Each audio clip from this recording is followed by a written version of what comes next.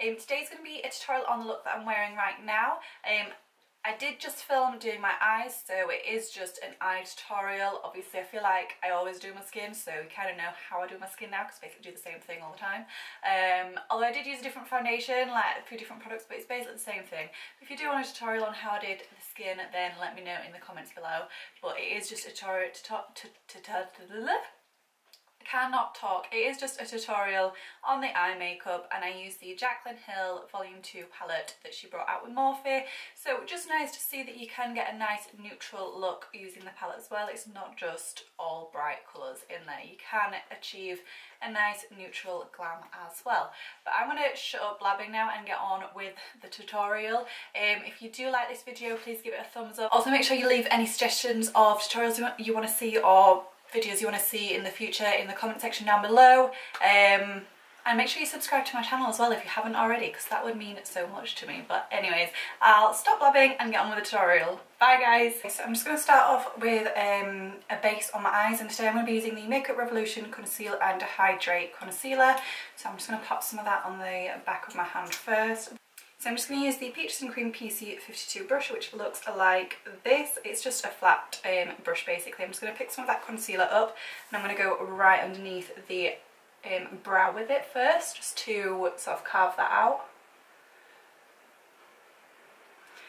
Suddenly just like started hammering it down literally just as I've started to film so if you can hear that in the background I'm sorry but I cannot get over how bad that rain is right now.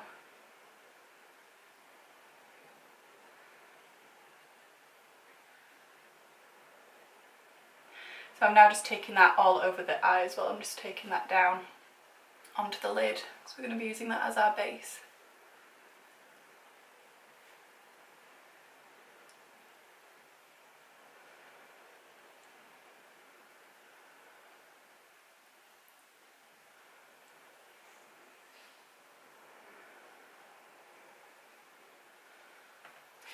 So today I'm going to be using the Jaclyn Hill Volume 2 palette that she brought out with Morphe and I'm going to go in with this colour right here which is called G Money.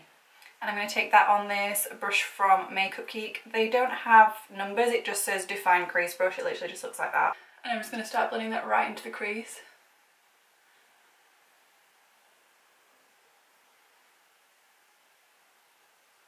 you zoomed in enough? Let's just zoom so yeah, I'm just blending that right into the crease basically.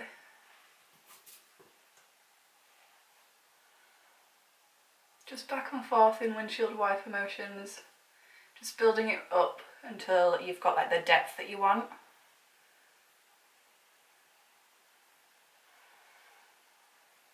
Taking it onto the outer corner as well.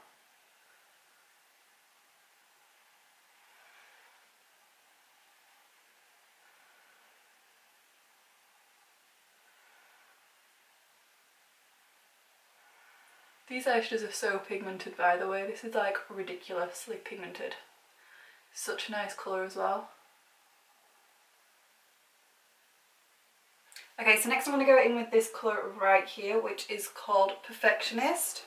And I'm just going to use this, what brush is this? It's a Sigma E25 brush just to blend that out.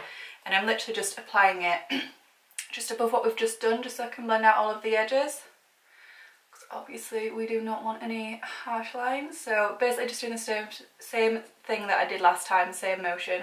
I'm just going to take it a little bit higher.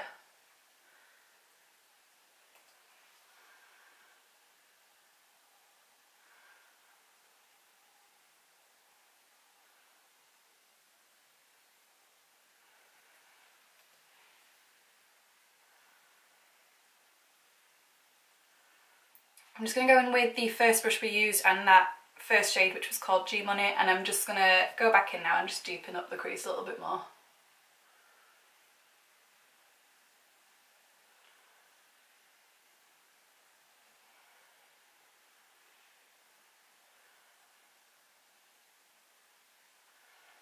And then now I'm just going to take a little bit more of the same concealer that we used first. Um, I don't need too much this time.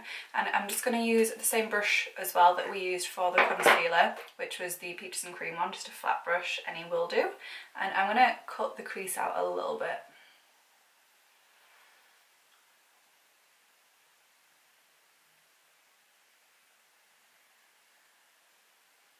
I basically let the tip of the brush do the work for me because obviously it's quite rounded so I literally just pat this on.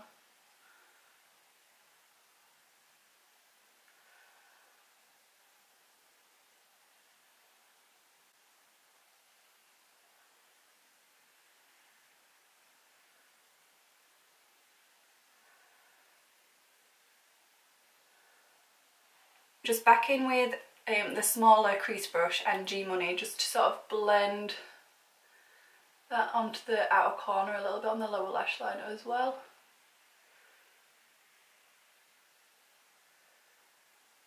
Back in with the Sigma brush, the bigger blending brush, no extra product on this and I'm just going to blend that on the outer corner as well. Okay, so now I'm going to take this colour right here, which is called Ride or Diamonds, and this is one of the um, pressed glitters in the palette. So I'm just going to use this Zoeva brush, it's a 234, it's just a flat shader brush like this. I'm just going to pick that up on the brush, and then I'm going to spray it with some setting spray as well. Literally any will do, I'm just using the GlamGlow GlowSetter. And then I'm also just going to pick a little bit more up after I've sprayed the brush as well and then I'm literally just going to press this right onto the lid where we've put the concealer. I'm not sure how it's applying with the brush, I'm not sure about it. I feel like it's taking a while to build up so I'm literally just going to use my finger instead.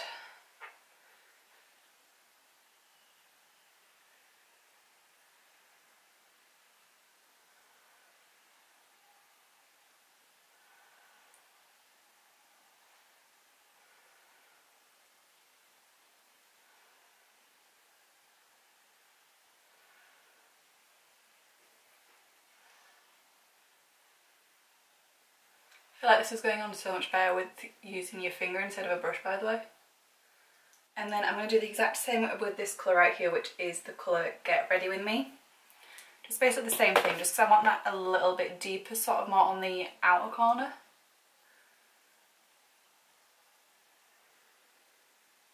Not necessarily on the outer corner but like the outer portion of the lid should I say. I feel like adding different like glitter and shimmery shades to the lid just gives more dimension and it just looks really nice like it when it catches the light. I feel like it just, I don't know, it just gives it a little bit more something something, if you get what I'm saying. So back in with G Money now, just to sort of blend that at the edges. I'm not even in shot, am I? Like, wow, Ellen, that's so bad. So next I'm just going to use this brush from Zoeva which is a 226, looks like this. It's just like a little detail brush. Um, the other one that I normally use has still got like pink on it so I'm using this one instead. And I'm going to go in with G Money to start off with. And I'm going to smudge this along the lash line. Just like this. And then I'm just going to go over that now with Temptress, which is this colour right here. It's the black in the palette. Same brush. Just pick a little bit of that up and just go over the top of that, just to darken it up a little bit.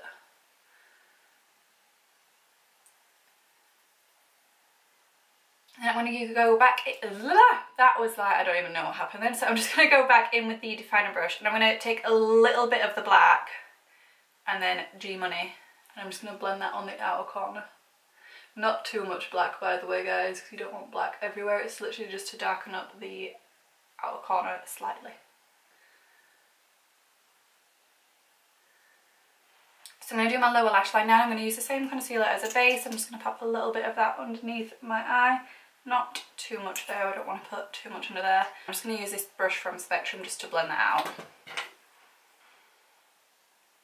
Just acts as like a base underneath the eye, for the eyeshadow to stick to. Obviously we used a base on the top, so why wouldn't you use the one on the bottom as well? strange because I don't always, saying that, I don't always use one on the bottom. Like if I'm wearing eyeliner in the waterline, I'll just kind of go with that. I'm not going to put any any eyeliner on today though. But like if I'm wearing eyeliner in my waterline, I just kind of use that as a base for it to stick to.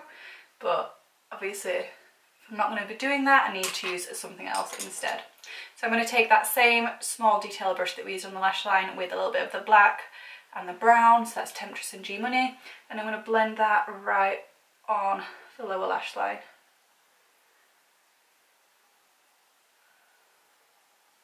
Just taking that small crease definer brush, like crease, whatever you want to call it, crease blending brush, crease definer blush, br blush brush, with a little bit of G Money and I'm just going to blend that out on the lower lash line so we've not got such a harsh line. Um, back in with the Sigma E25 and the shade Perfectionist. Um, I'm just going to put some of that underneath as well. Basically the shades we used on the top I'm using on the bottom except obviously not the shimmering ones. I'm just going to do my brows now so I'm just going to start off by brushing them. This is just a spoolie, a, just a brush from Real Techniques. You don't need to go out and buy an actual brush, you could just use like a disposable mascara one, like it really does not matter, just literally just something to brush the brows into place basically. And then I'm going to be using the Anastasia Beverly Hills Brow Definer. This is in the shade Auburn. Um, I broke the spoolie on this, which is why I use the separate brush if you wonder. I just, I always start, I don't like to start right at the front. I tend to start like just a little bit before the arch. And I just like to start by lining underneath first. Very softly though, you don't want like too much of a harsh line.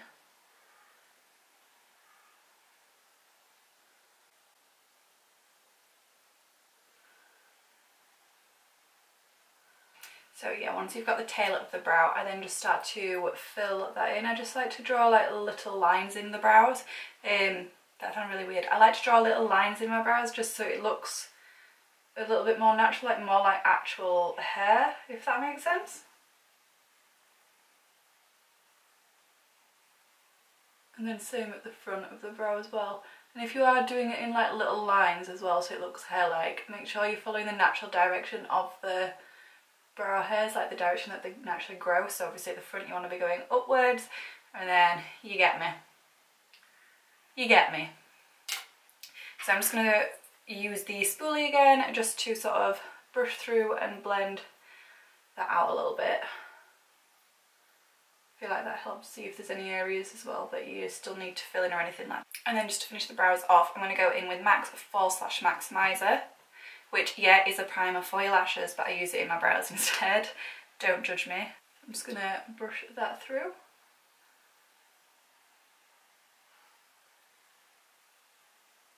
That's literally basically how I do my brows like. I feel like that was the eye and the brow was just really quick and easy so I'm just going to go and do the other eye, pop some falsies on etc etc and I'll come back to show you the finished look. I'll see you in a minute. But this is the finished look guys. I just put on some lashes. I used the Style Escape from Prima Lash. Um, really really nice to be fair. I really like these lashes, really nice and fluffy.